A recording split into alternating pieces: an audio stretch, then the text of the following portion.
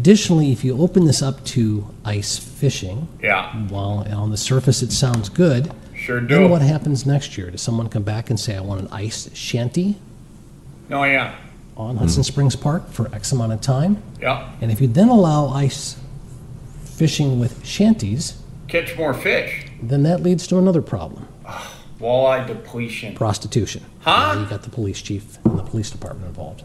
Guy, what kind of bait are you using? Just data points to consider. Yeah, no.